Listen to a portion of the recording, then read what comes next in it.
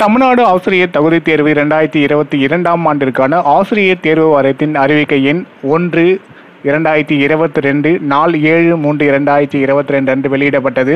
ஆறு ஏழு இரண்டாயிரத்தி இருபத்தி ரெண்டு பத்திரிகை செய்தியின்படி ஆகஸ்ட் மாதம் இருபத்தஞ்சு முதல் முப்பத்தி ஒன்று வரை உள்ள தேதிகளில் தாள் ஒன்றுக்கு மற்றும் முதற்கட்டமாக தேர்வுகள் கணினி வழியில் மட்டுமே நடத்த உத் உத்தேசிக்கப்பட்டுள்ளது என்ற விவரம் தெரிவிக்கப்பட்டது. தற்போது நிர்வாக காரணங்களினால் தாள் ஒன்றுக்கான தேர்வு பத்து ஒன்பது இரண்டாயிரத்தி இருபத்தி ரெண்டு முதல் பதினஞ்சு ஒன்பது இரண்டாயிரத்தி இருபத்தி ரெண்டு வரை நடத்தப்பட உள்ளது.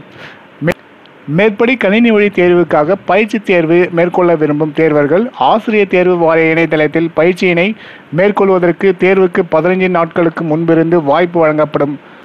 அனைத்து பணி நாடுநர்களும் இந்த வாய்ப்பினை பயன்படுத்தி பயிற்சி மேற்கொள்ளலாம். இது குறித்து அறிவிக்கை தேர்வு கால அட்டவணை மற்றும் அனுமதி சீட்டு வழங்கும் விவரம் செப்டம்பர் முதல் வாரத்தில் அறிவிக்கப்படும் என்று தெரிவிக்கப்பட்டுள்ளது.